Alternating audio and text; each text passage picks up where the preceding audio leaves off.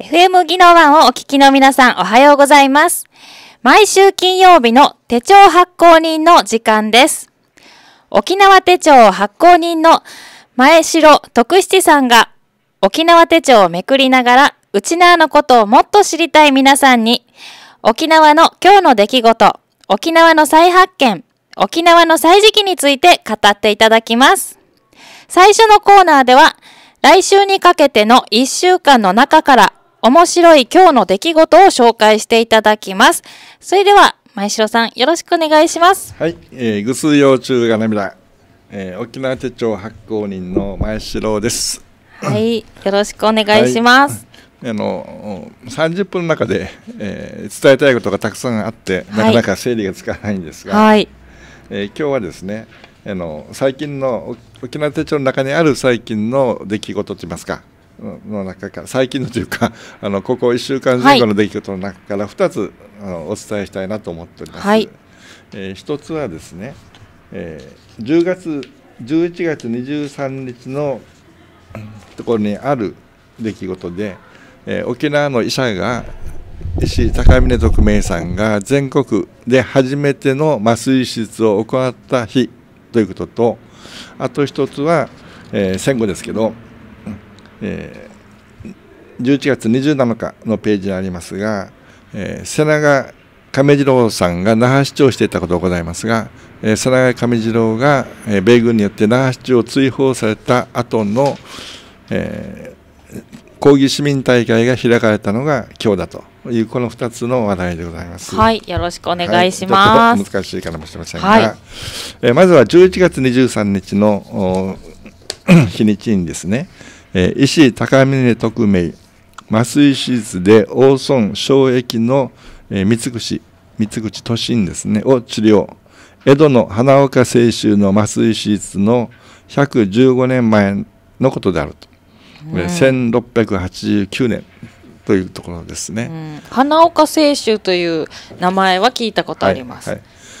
まあ、あの花岡清舟は小説「花岡清舟の妻」で有名ですしそれがはい。映画化されましたし、実はあのテレビ番組だともう何度も5回も6回も取り上げられてますので、非常に有名な方なんです。ですからえー花岡清舟が手術をしたっていうのがえー1804年の10月13日なんではい、この日が日本では麻酔の日と定められているわけなんです。うん。ところがその花岡清舟よりも115年前のうん1689年の11月23日にこの琉球で高峰清徳さんというあ高峰徳明という医者が麻酔手術を行ったという記録があるわけです。なんと今から326年前のことですからとてもびっくりするわけなんですね。ね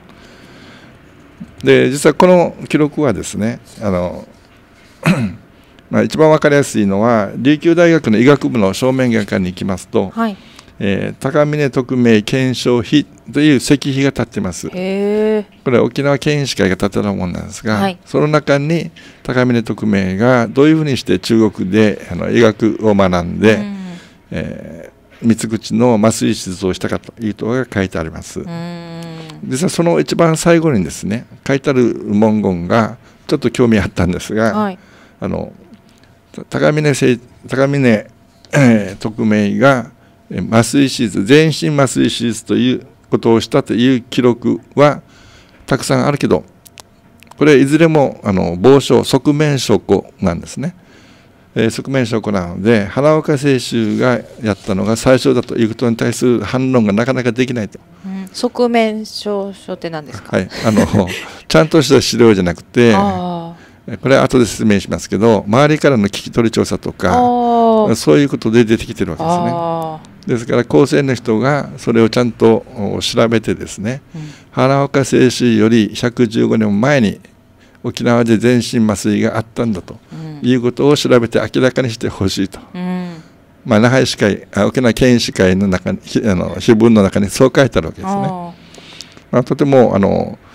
残念があってですね、はいそれをもっと表に出したいなという気持ちが伝わってくるんですーう。ん、じゃあどういう手術だったかと言いますとあの三つ口っていうのは口外裂とも言いまして、唇が裂けてる、うん。まあ、多分普通はあの鼻の穴のところまで、えー唇の割れ目が続いているというような病気なんですね。うん。青々唇が。はいはい。えーまあ、遺伝的なものがあったりして大体人口の2%近くの方に現れてくると言われてるんですね、実はその時国王の孫がこの三つ口だったと言われてますうん。それで、えーこ国王としてはどうにかこの孫の三つ口を手術したいと思ってたわけですね、その時に、えー中国に行った使使者団使節団がですね、はい中国の復讐に三つ口を治すという名医がいるんだということはいを情報をキャッチするわけです。で同じ中国の復讐に行った高峰徳明彼は通訳だったんですけど、はい。彼に、えーその医者のところに行って、えーその手術を学んでこいとうん。生かされるわけですね。はい。高峰徳明は医者でもないんで大変困ってしまうんですけど、あのまあ、命令なんで、えー行きましてそのお医者さんに会ってはい頭を下げてはい再三お願いするんですが、へそのお医者さんはこれは一世一伝の秘伝であるとーうん。つまり自分が生きている間に後継者一人にしか教えられない秘伝だと、はいだから琉球のどこの馬の骨かわからんやつに教えるわけにいかんと はい。言うんですけど徳明さんは諦めないで毎日毎日帰って拝み倒して、うんあとはその中国の医者はあの根気負けしてうん。特別にということで教えるんですね。ただ厳格な約束させまして一世一伝あなたが伝えるにしても一人にしか伝えてはいけないということを約束して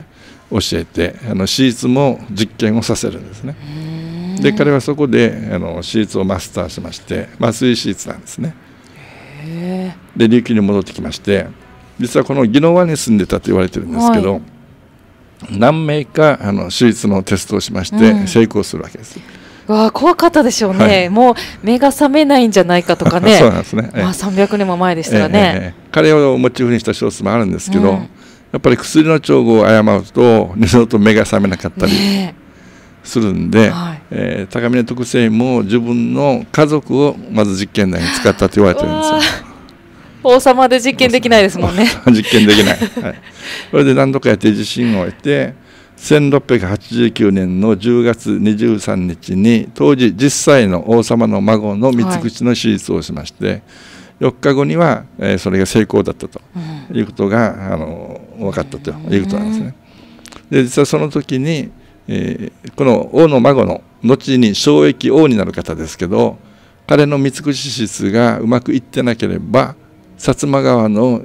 物言いで別の方が王になった可能性もあると言われてるんですね。うん薩摩がこの王様になる人は三つ口ではダメだと、だと言ってたらしいんです。うんはい。でまあ、小撃王はうまく成功しまして後々ね彼の子供でさらこの三つ口の手術後に気がつかなかったと。へいうふうな話があるわけなんですね。はい。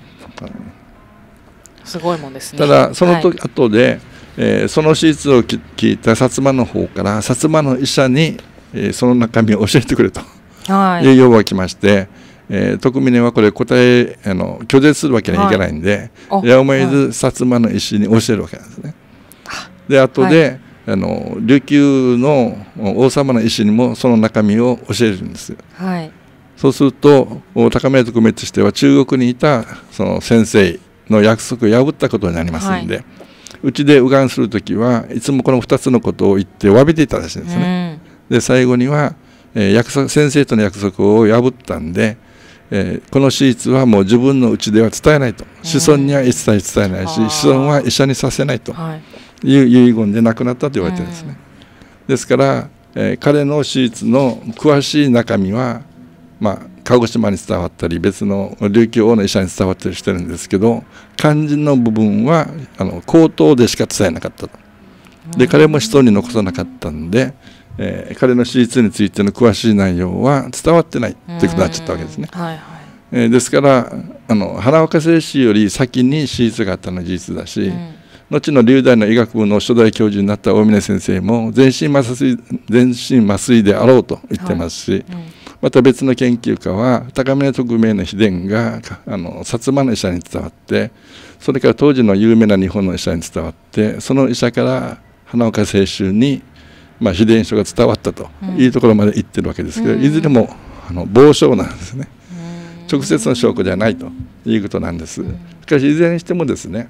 日本で最初の手術が麻酔手術が行われたのが行われたのがこの琉球であるというのは間違いありませんし花岡清舟より前に多分全身麻酔手術が行われていたということであろうということです。これは沖縄の人は、まあ、知ってる人もいると思うんですけど本当の方で知る人はほとんどいないと思うんで、まあ、あえてあの沖縄の偉大な先人がいたということの紹介としてお伝えしたいなというふうに思ったわけです。なるほど。そして11月23日のところにはこれが書かれていると。はい。これ本来であればこの日が日本での初めての麻酔の日になるべきだと我々は思うわけですね。はい。わかりました。はい。であと一つはい、はい、今度は11月27日今日の日なんです。はい。今日の出来事なんですけど、11月27日のページには。えー、瀬長市長追放抗議市民大会10万名参加、うん、瀬長上次郎が私は勝ったアメリカは負けたと演説したというのがございまして、はい、これ1957年復帰のずっと前の話なんです。はい、で沖縄の方だったら瀬長上次郎という名前は聞いたことある人が多いと思います。はい、しかし若い人は知らない人も多いと思いますし、うん、ましてや本当の方は分からない人が大分だと思いますので。うんえー、背中見ての話は12月に出てきま12月にも出てまいりますので、はい、簡単に説明したいと思うんですが、はい、えー、名前は瀬長上次郎、まあ、通称は亀さんと言われてました、うん、で復帰前の反米闘争のシンボルあるいは復帰運動のシンボルであのガンジーを思わせるような独特の風貌をしてまして、うん、小柄でちょびひげで演説はとても大変あのユーモラスで。うんえー、国民大衆がとても人気のある方なんですね。うん、で彼は反米闘争がのリーダーしたんでアメリカ軍政府からとても狙われまして、うん、何度も何度も弾圧を受けて逮捕されたりするわけですね。うん、でその闘争のクライマックスがこの那覇市長なんですね。なんとアメリカは瀬長上次郎が当選すると思ってなかったのに、上次郎が当選しちゃったと、はい、そうするとアメリカ軍はびっくりしましてですね、えー、反共のモデルの琉球沖縄にいわゆる赤共産主義の主張が倒産したんだということになりまして、徹底的な弾圧を行うわけですね。まあ、考えられ今だったら考えられないんですけどあの米軍の補助金をストップする、銀行にある那覇市の預金を凍結あの動かせないようにする。あ那覇市全部ですか？那覇市の銀行のお金をですね、えー、はい。えー、那覇市のお金をですね、はい、口座を凍結したわけですね、はい、で那覇市は水道を米軍からも分けてもらっていたんですが、うん、その水道の供給すら打ち切るということになりまして、えーはい、まあ、普通であればギブアップですね。あの市の仕事が動かないという状態に陥るわけなんです、はい、お金も使えない、うん、でその時に起きたのがなんと市民がですねあの自主納税運動を始めちゃうんですね。で納税率が70%台だったのが、えー、どんどん膨れてまして一時ピークの時に97%の納税率までいったと。すごい。で公共工事もストップしてたんですけど、はい、まあ、市民が取材とかボランティアに参加をして、うん、えー、1円の持ち出しもなくてあの工事を進めていくとかこんなことが起きまして、はい、あの米軍は瀬長追放のことごとく失敗するわけですね。うん、で市長解任の決議も不信任決議も7回出すんですけどいずれも失敗と。で山江津琴部務官は不礼を出しましてえー、軍の軍政府の命令で那覇市長を追放するような形に出たわけですこれはもうそれが通りまして瀬長上次郎は市長でありながらあの米軍の指示で追放されるという形になったわけです、まあ、その時にその 瀬長上次郎の那覇市長追放に抗議をした市民集会が、えー、今日この日に行われたわけです。その時に10万人集まって言われていますが、なんとあの那覇市の人口は11万ちょっとだったと言われてるわけですね、だから那覇市あるいは那覇市近郊から、びっくりするぐらい多数の人が集まったと。で米軍に抗議をしたわけなんですけど、うん、その抗議の場での演説がですね、はい、さっき言ったように瀬長上次郎は演壇に立ちまして私は勝った負けたのはアメリカであるとこういう演説をしたわけです、うん、で瀬長上次郎の後の市長選挙にもあの瀬長の後継者えー、金地佐一さんが立候補して当選してしまうと。アメリカはびっくりしたっていうことなんです。うん、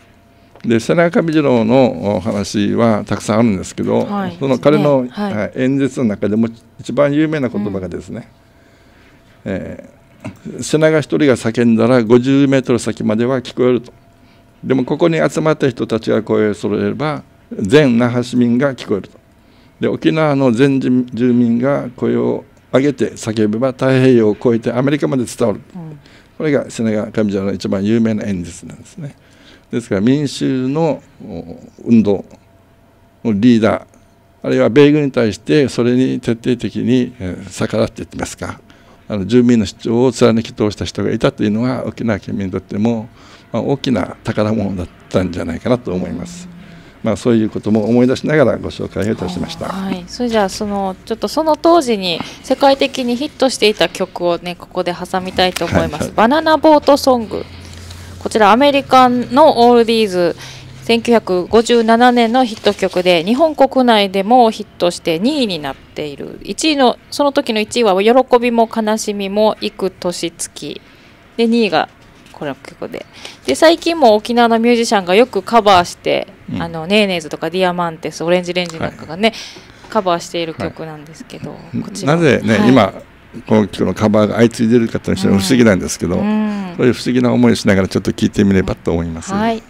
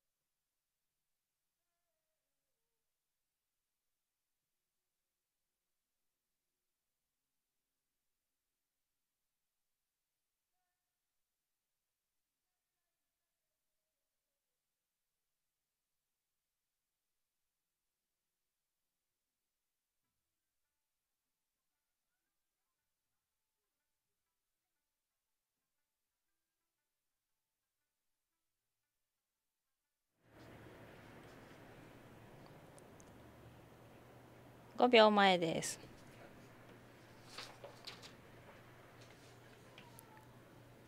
沖縄手帳手帳発行人の時間をお届けしております。それでは続いて沖縄再発見のコーナーです。今日はですね、沖縄手帳の中の日付が書いてある日付欄の部分の見方を編集してらっしゃる前城さんにお伺いしようと思ってます。今日は11月27日金曜日で、その下に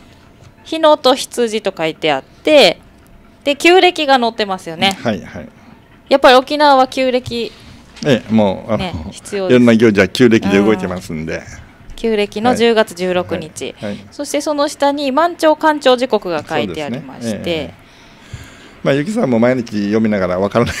わからない方を読んでるってお話してましたんで。あのこれで合ってるのかなと思いながら、はい。あのでこの旧暦の横には、えー、と潮回りが書いてあるんですよね。そうですね。大潮、今日は大潮。はい。はい。はい。はい。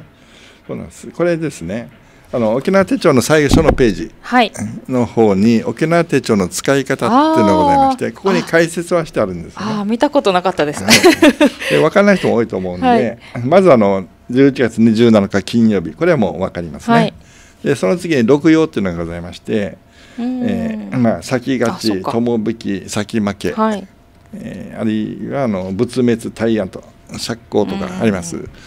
これはあの占いから来ているんで、うん。えーこれによっていい日悪い日っていうのがあるらしいんですけど、うんはいはい。まあ、あまり関係ないんじゃないかと私は思ってるんですけどね。うん。だから仏別の時は結婚してはいけないだとか、葬儀は友引きはダメだとか、はい。逆に仏滅の日には結婚式場があの割引があるとか、ああ、はいはい。まあ、いろんなことがございますね。でこれはですねあの旧暦の1日にこの並びが変わるんですよ。あのなんて言いますか、えー、戦勝友引き先負けとこうい5つの言葉がつないでいくんですあうん6つ ,6 つの言葉がつないでいくんですが、はい旧暦のうん1月あの1日になると順番が変わるんですね。そうすると並びがですねよ読んでる方から見ると非常に神秘的な並び方をするんですよ。まあ、それでなんか謎めいてるミステリアスなうん占いの日だってことなんですが実際は一定のルールであの出てるだけでそんな深い意味合いはないと私は考えております。あとおその隣に、えー晴れマークとかあ曇りのマークがあって、ねははい天候確率です。はいはい。えー過去30年間の天気の出現率を晴れ、曇り、雨に分けまして、うんその中の一番高い確率をお書いてあるということなんですね。はいで今日は11月27日で晴れで 43%, 43%の確率で晴れになりますと。あ一番、うん、もう晴れ曇り雨の中では晴れの確率が一番高いっていう意味なんですね、あ。じゃあ今日は珍しく曇り曇ってますね。なので、はい、この当たらなかったと。さこれ統計なんで、はいはい。当たるも時も当たらない時もあるってことですけどね、でその次があの日野とうん羊。これは監視十二支であの実感と十二支を組み合わせたものなんです。うん。以前は十二支だけを載せていたんですけど、うん。沖縄の行事の中では、このお実施十二支合わせて監視っていうんですけど、うん。これを組み合わせてお祭りの日取りが決まるっていうのがありますんで。そうですよね。ね旧暦の10例えば11月のカノトミの日のに行うみたいな書き方ですよね。何日っていうのが。ね。はい、ですから両方載せないといけない。ね。そうそうですね。今度はですねこの漢字を載せるとね読み方がわからないっていう人が非常に多いわらないでけです。すはい。で今度はひらがなだけ入れると、うん。書物には漢字で書いてあるので、はいはい。それがどれに書いてあるそうですね。かわからないそうですよね。で 両方いりますね。我々はこの漢字とカタカナを両方載せるっていうふうにしたわけですね。はそしてあと大事なのが10月16日旧暦、いうん。